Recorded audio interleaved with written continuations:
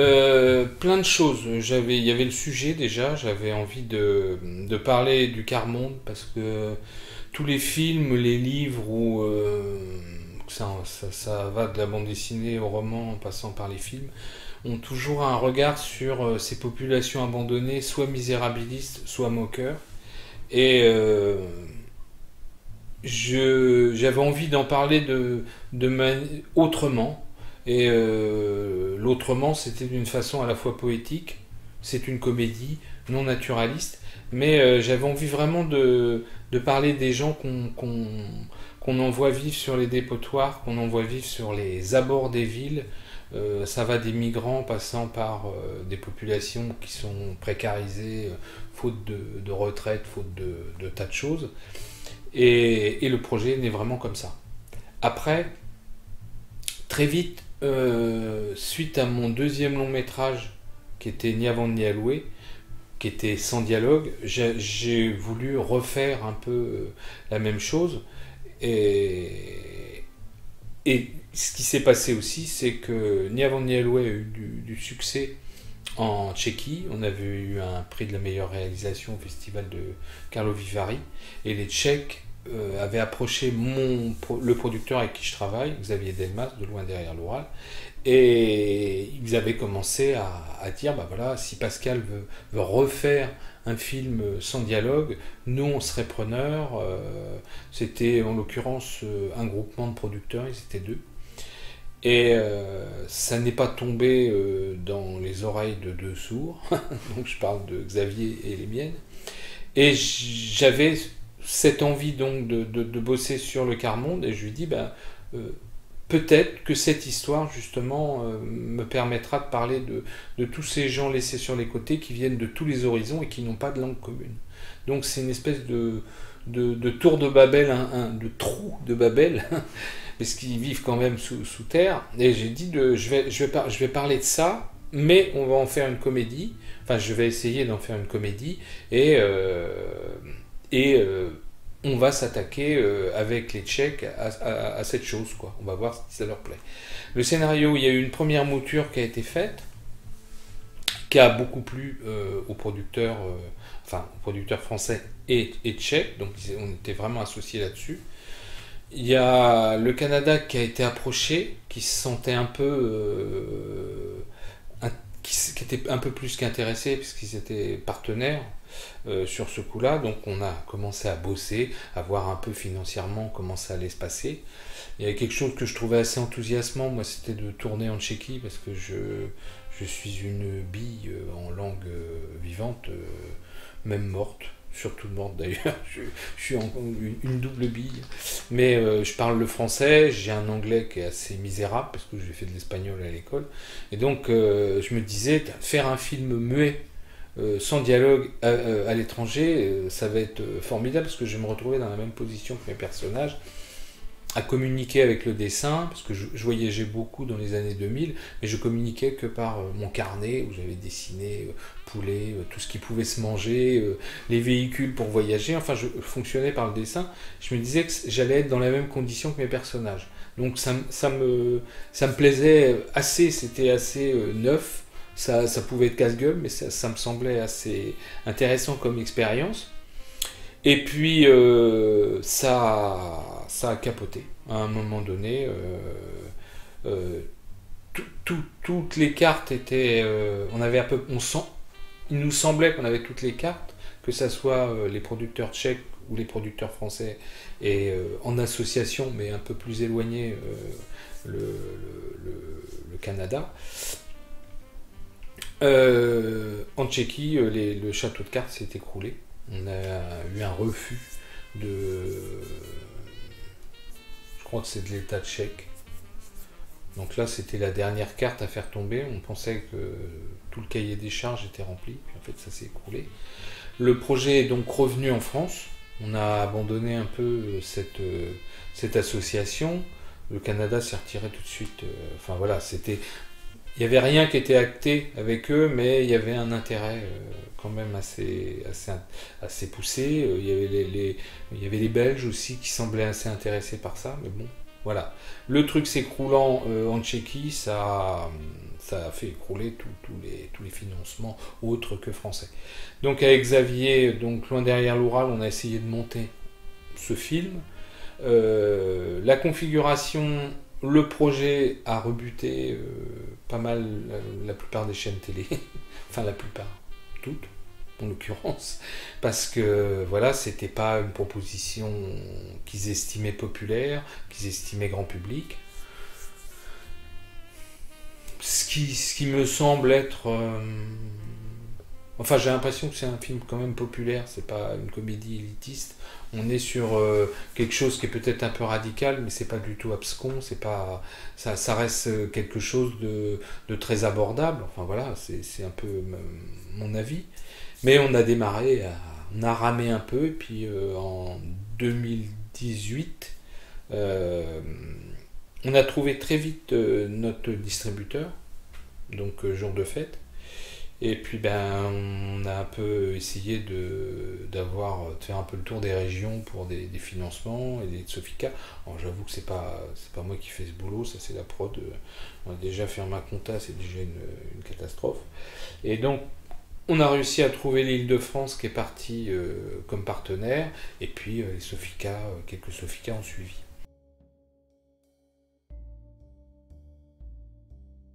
Non, c'était. Euh, enfin, la, phrase, elle, elle, elle, amène une ambiguïté euh, qui n'a pas raison d'être sur, euh, le projet.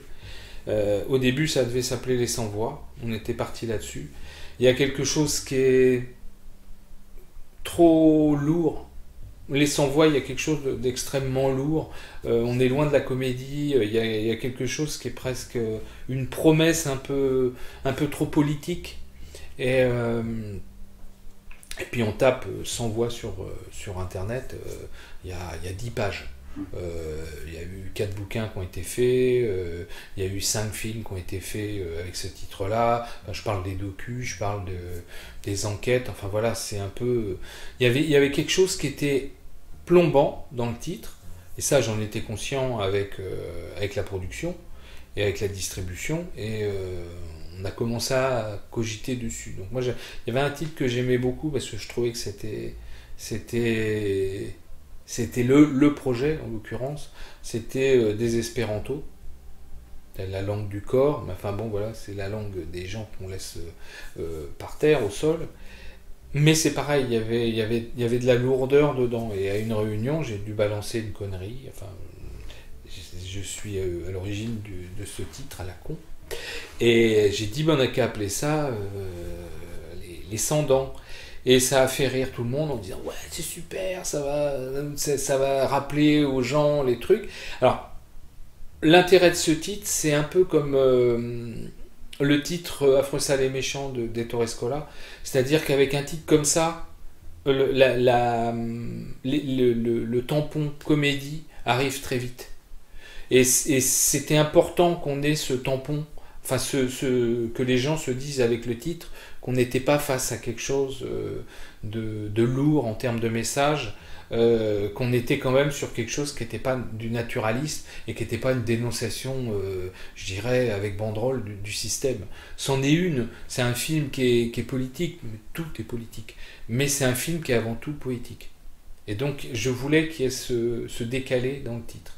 Après, à l'international, en effet, on est revenu à The Voiceless, parce que sans dents, euh, enfin moi si j'avais proposé Rotentis, j'aimais bien les dents pourries, mais, euh, mais voilà, et c'est, ça, a fait rire euh, la production, ça a fait rire les distributeurs de, de se dire que les gens allaient penser à cette phrase, alors que l'expression date du, du 16e ou du 17e siècle.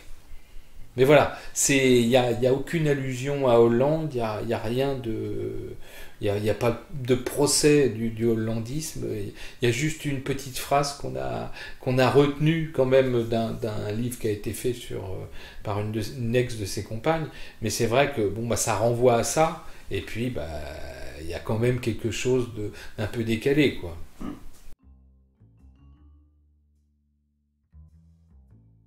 C'était. Alors, à la fois, je pense que pour eux, c'était, vachement bien. On a fait des réunions. Ils avaient lu le, scénario. Alors, il y en avait qui ne comprenaient pas. Hein. Il y a des copains de acteurs. Vincent, il m'a dit, mais euh, quand il a vu le film, il me disait, je pensais que c'était que drôle. Enfin, il m'a dit, euh, j'adorais l'ambiance parce que euh, sur, sur le plateau, c'est assez rare. Le, clan a toujours été tout le temps ensemble. C'est-à-dire, il n'y a, a, pas de personnages principaux, principal. Il y a n'y a que des personnages, enfin, ils sont tous les personnages qui apparaissent à l'écran ont leur importance, sont, sont, sur le même, euh, le même podium. Euh, et c'est assez unique parce qu'on a eu euh, quand même, l'économie a fait que le film s'est fait en 21 jours, ce qui est relativement short. mais les acteurs, on a fait des réunions de travail, ils avaient lu le texte, je leur ai dit un peu ce que je voulais, ça a été un peu la le, comment on appelle ça? Pas, le diapason, mais tu sais, le, j'ai donné là euh, au début du tournage en, leur disant que c'était une comédie, mais moi je, je, n'aimais pas la caricature, je n'aimais pas le. J'aimais l'outrance, j'aimais les choses qui débordent, mais naturellement. Enfin, comment dire, un acteur qui, qui, joue, qui sait qu'il joue m'intéresse assez peu, j'ai envie que les gens soient. Euh, j'ai envie qu'ils y croient et, c'est la seule façon pour moi je, puisse y croire. Donc ils ont, ils ont investi le truc. Bon, en effet, il n'y a pas de texte à apprendre. Donc euh, déjà, ils, ont, on, s'est fait notre réunion en leur disant, bah voilà, essayez de penser à un langage, chacun et sa marque de fabrique et son langage, des espèces de restes de, l'ancienne civilisation d'où ils viennent, ou de société. Et... Euh, la réunion a, tourné plus ou enfin ça a duré une après-midi, on a bu des coups, on a discuté un peu, chacun a essayé de se répartir un machin sans savoir vraiment si ça allait marcher, et puis après on a commencé directement le dur euh, sur le plateau. Donc euh, il y a eu des scènes, scènes de déballage de cadeaux qui a été un barnum, c'est un peu compliqué parce que on pense sur le précédent, enfin on pense, on chorégraphie, mais c'est ce que j'avais fait sur Ni avant ni alloué. Tout était chorégraphié, euh, les, acteurs ne devaient pas être en commande, il y avait quelque chose qui était de l'ordre du geste précis et autres. Là, c'était euh, la précision venait de l'imperfection et de la, du bordel en fait. Donc c'est tu, chorégraphies pas, tu, tu prends euh, ce qui te donne et tu leur dis vous savez ce que vous avez à faire, maintenant battez-vous sur les cadeaux, essayez de récupérer les, trucs qui, qui sont pour vous, vous vous trompez de cadeau, bah tant pis, vous passez à un autre. Mais ça, a été un gros bordel. Et après, à l'image, moi je regardais en me disant, mais oh, comment ça va, comment on va articuler ça? Et euh, sur cette scène-là, on n'a pas eu des kilotonnes de, de prise parce que les cartons, euh, tu vois, sont pas. Bah voilà, tu fais tomber la flotte, il euh, faut, réapprovisionner, mais on n'en avait pas des, tonnes et des tonnes et des tonnes. Et puis je voulais qu'il y ait un peu de fraîcheur aussi. C'était un peu le but, c'est que je voulais pas que les acteurs s'usent et, commencent à, trop jouer. Je voulais qu'ils soient. Et donc on, a fait 3-4 euh, grosses prises euh, sur euh, le plan général. Et puis après on est rentré dedans. Où je leur demandais d'être dedans. Mais c'était quand même un barnum, oui, c'était assez compliqué parce que 12, 12 personnes à gérer, faut. Enfin, tu gères pas.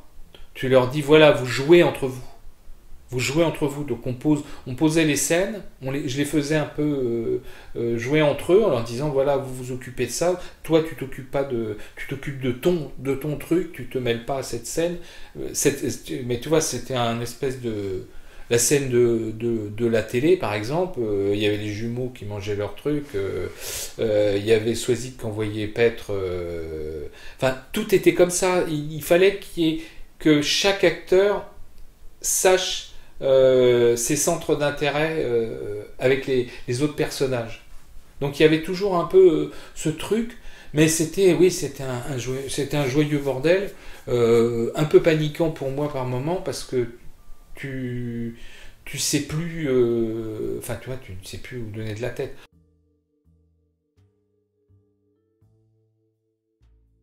Et donc en 2019, le financement était précaire. On était vraiment sur quelque chose qui n'était pas, très élevé. On était annexe 3, donc autour du million. j'ai commencé à faire le ramdam auprès de ma troupe. Donc ma troupe, c'est c'est les gens qui ont déjà bossé avec moi. Bah, David Salle a fait tous les films, Charles Schneider aussi. Euh, Soazic Segalou, c'est ma compagne, on avait fait, c'était son troisième. Euh, Vincent Martin, on avait fait trois. Philippe Rigaud, on avait fait trois. Euh, Gustave, on avait fait euh, deux. Enfin, les autres, on avait fait deux, parce que là, c'est jamais que mon quatrième, donc là, je me plante un peu, oui. Donc, euh, Soazic, on avait fait deux, David Salle avait fait les trois, Charles Sénère a fait les trois, et Vincent Martin et Philippe Rigaud, on avait fait deux ainsi que Gustave qui avait, qui avait été dans Ni avant ni alloué, mais qui était aussi dans du goudron et des plumes. Donc ça, ça a été un peu ma troupe. Euh, François Morel, il en avait fait un. Donc je les ai tous approchés avec ce projet en leur disant voilà, c'est une euh, comédie chorale, c'est, ça va être sans dialogue, sans musique. Après ça, je l'ai gardé un peu pour moi au niveau de la prod parce qu'il me disait que c'était quand même déjà. Proposition était un peu osée, donc si on enlevait en plus la musique, ça risquait de, de clasher quoi. Et, euh, et j'ai approché Yolande, avec qui j'avais, on avait fait un spectacle il y a des années, des années, qui n'avait pas pu se libérer pour Ni avant ni alloué, qui m'a dit mais euh, je lui ai parlé du projet, elle m'a dit je lis même pas le scénario, je te dis oui et je fonce. En fait, ça s'est fait, ça s'est fait très vite au niveau des acteurs. Donc j'avais à la fois ma troupe et puis j'avais les, des nouveaux que je connaissais, euh, donc euh, Yolande. Après, on a fait un cast sur les personnages qui manquaient. Donc on a casté pour. Il y a eu Romain qui est arrivé, il y a eu les, frères Prince, il y a eu Olivier Parenti, il y a eu euh, Marie-Pascale Grenier. Mais voilà, il y a eu 5-6 rôles. Il y a eu Mivek, la petite, euh, la, jeune, euh, la jeune fille. Et donc, il, y a, il, me manquait 5 rôles sur lesquels on a casté, on a pris un directeur de casting et puis on, a casté les acteurs sur la danse. Parce qu'il y a une scène pour moi qui est un peu le, noyau du projet. Et c'est une scène dansée et il fallait que j'ai des gens qui soient prêts à donner un maximum.